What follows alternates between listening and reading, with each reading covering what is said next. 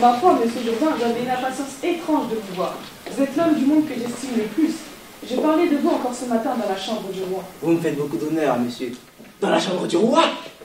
Un riche bourgeois qui veut devenir un noble, une source de moquerie pour Molière lorsqu'il a écrit Le bourgeois gentilhomme. Ici, Monsieur Jourdain et les différents personnages sont joués par des lycéens de Trappes, une découverte de l'importance du costume.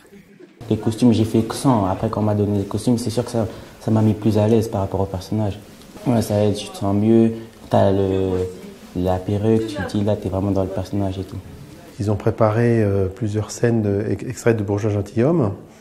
Et l'exercice étant euh, de le répéter une fois sans costume, donc comme dans le cadre d'une répétition, et une fois avec les costumes, donc des costumes là, euh, des costumes traditionnels, des costumes historiques, et de voir tout ce que ça apportait, à la fois pour le public, donc pour ceux qui, qui observaient le, la, la répétition, et pour les acteurs.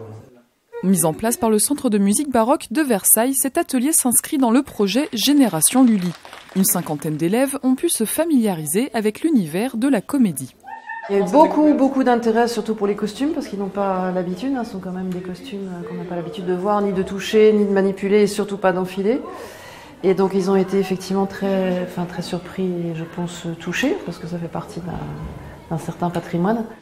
Dans le cadre de Génération Lully, près de 1000 trappistes sont invités à participer à ce type de découverte, une action éducative, artistique et culturelle qui va durer jusqu'en 2018.